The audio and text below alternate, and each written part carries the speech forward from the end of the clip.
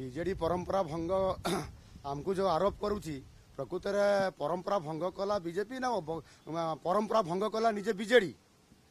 ସରକାରୀ ଦଳ ବିଜୁ ଜନତା ଦଳ ତାଙ୍କର ବିଧାୟକ ମନ୍ତ୍ରୀମାନେ ସେମାନେ ଯଦି ୱେଲ୍କୁ ଆସିବେ ଏବଂ ସେମାନେ ଯଦି ମିଥ୍ୟା ଆରୋପ କରି କରି ଏ, ଗୃହକୁ ଅଚଳ କରିବେ ତାହେଲେ ସେଥିରେ କିଏ ଦାୟୀ ହେବ?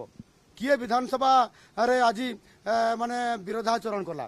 ଏଣୁ ବାସ୍ତବ କଥା ହେଉଛି ଯେ ଏଠି ମନ୍ତ୍ରୀ ମାନେ ଆସିକିରି ୱେଲ୍ରେ ପାର୍ଟି କଲେ। ଆପଣଙ୍କର ସୁଭାଷ ପାଣିଗ୍ରାହୀ ବିଧାୟକ ଦେବଗଡ଼ର ସିଏ ବିଷ ଖାଇଲେ ଏବଂ ସେଥିପାଇଁ ଏ, ଏଟା ପରମ୍ପରା ବିରୋଧୀ ହେଲା ଏବଂ ସେ ଇସ୍ତଫା ଦିଅନ୍ତୁ ବୋଲିକି ଏ, ସିଏ କ୍ଷମା ମାଗନ୍ତୁ ବୋଲି ଯେଉଁ କଥା କହୁଛନ୍ତି। ସେ କଥାରେ ମନ୍ତ୍ରୀ ଆସିବେ। ନିଜେ ସରକାର ଆସିବେ। ମନ୍ତ୍ରୀ ଆସିଲେ ମୁଖ୍ୟମନ୍ତ୍ରୀ ଆସିଲେ ନାହିଁ ୱେଲ୍କୁ ସୁଭାଷ ପାଣିଗ୍ରାହୀ କାହିଁକି କ୍ଷମା ମାଗିବେ?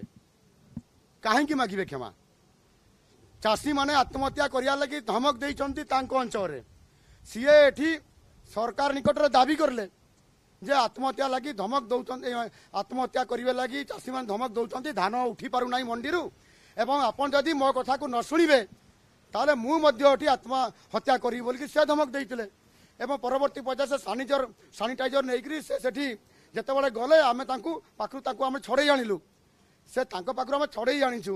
ସେ ସେ ସେ ଯଦି ସସ୍ପେଣ୍ଡ କରିବା କଥା ଦଳ ଯଦି ସର- ବାଚସ୍ପତି ଯଦି ତାଙ୍କ ଉପରେ ଆକ୍ସନ ନେବେ ନିଅନ୍ତୁ। ଆମର ସେଥିରେ ଆପତ୍ତି ନାହିଁ।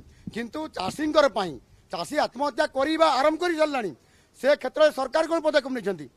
ଚାଷୀଙ୍କର ପାଇଁ ସରକାର ପଦକ୍ଷେପ ନେବା ବଦଳରେ ସିଏ ଯଦି ଏଠି ବିଧାୟକ ମାନ ବିଧାୟକ ମାନଙ୍କୁ ଯଦି ସେ ଏ, ଆମର ବିଧାୟକଙ୍କୁ ଯଦି ସେ ଆକ୍ସନ ନେବା ପାଇଁ ସେ ଯଦି ଏ, ଏଠି ଦାବି ହେଉଛି ତାହେଲେ ସେ କରୁନାହାନ୍ତି। ତାଙ୍କ ପାଖରେ କ୍ଷମତା ଅଛି। ତାଙ୍କ ପାଖରେ ସମସ୍ତେ ଅଛନ୍ତି ସେଥିରେ ଆମର ଆପତ୍ତି ନାହିଁ। କ୍ଷମା ମାଗିବେ କ୍ଷମା ମାଗିବାର ପ୍ରଶ୍ନ ଉଠୁନାହିଁ। ସିଏ ଚାଷୀଙ୍କର ପାଇଁ କହୁଛନ୍ତି ଚାଷୀଙ୍କର ପାଇଁ ସେ ଏଠି ବିଧାନସଭାରେ କଥା ଉଠେଇଲେ। ସରକାର କାହିଁକି ଗୁରୁତ୍ୱ ଦେଲେ ନାହିଁ? ଇଏ ତ ଆଜି ନୁହଁ ତେର ଦିନ ହେଲାଣି ସେ ଆତ୍ମାହୁତିର ଆତ୍ମହତ୍ୟା କରି ଧମକ ଦେଇଥିଲେ ଏବଂ ସେ ସାନିଟାଇଜର ନେଇକରି କାଲି ପିଇବା ପାଇଁ ଉଦ୍ୟମ କରିଥିଲେ। ତା ଉପରେ ସରକାର କ'ଣ ପଦକ୍ଷେପ ନେଲେ ସୁରକ୍ଷା ଦେବା ବଦଳରେ ତାଙ୍କୁ ଯଦି ସିଏ କହିବେ ଯେ କ୍ଷମା ମାଗନ୍ତୁ ନହେଲେ ତାଙ୍କୁ ବିଧାନସଭାରୁ ତାଙ୍କୁ ଆମେ ସସ୍ପେଣ୍ଡ କରିବୁ। ସେ କରନ୍ତୁ। ଏଥିରୁ ଜଣାପଡ଼ୁଛି ସମ୍ପୂର୍ଣ୍ଣ ଭାବରେ ଚାଷୀ ବିରୋଧୀ ଏ ସରକାର ଚାଷୀଙ୍କ ପାଇଁ କୌଣସି ପ୍ରକାର ତାଙ୍କର ଦରଦ ନାହିଁ ଏବଂ ନିଜେ ଆସି ଏ ଗୃହକୁ ଆଜି ଅଚଳ କରିଛନ୍ତି ଏ ଚାଷୀ ଇସ୍ୟୁକୁ ହଟେଇବା ପାଇଁ। ମନ୍ତ୍ରୀ ସେତେବେଳେ ପ୍ରତିଶ୍ରୁତି ଦେଇଥିଲେ ଅ, ମ, ସବୁ ଧାନ ଉଠିଯିବ ବୋଲି। ଧାନ ଉଠିଲାନି ଯୋଉଟା ନିଜ ମନ୍ତ୍ରୀ ଯୋଉଥିପାଇଁ ଆଜ୍ଞା ମନ୍- ଯୋଉ କଥା ନିଜେ ପାର୍ଲାମେଣ୍ଟରେ ଏପାର୍ସ ମିନିଷ୍ଟର ସ୍ପଷ୍ଟୀକରଣ ଦେଇଥିଲେ ତାଙ୍କ ଷ୍ଟେଟମେଣ୍ଟରେ ଯେ ଗତ ଛବିଶ ତାରିଖରେ ଚାରିଟା ତିରିଶ ମିନିଟ୍ରେ ଏବଂ ସେଥିରେ ସେ ସିଧାସଳଖ କହିଥିଲେ ଯେ ଚାଷୀଙ୍କର ଧାନ ଉଠିବ। ପ୍ରକୃତ ଚାଷୀଙ୍କ ଧାନ ଉଠିବ। ପ୍ରକୃତ ପ୍ରକୃତ ଚାଷୀ ଯେଉଁମାନଙ୍କ ଧାନ ପ୍ରକୃତରେ ମଣ୍ଡିରେ ପଡ଼ି ରହିଛି ଉଠିଲା ନାହିଁ।